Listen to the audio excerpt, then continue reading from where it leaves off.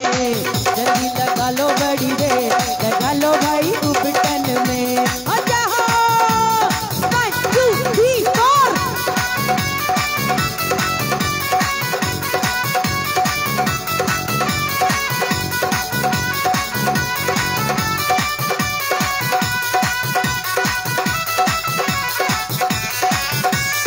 और अब हमारी ताई की बात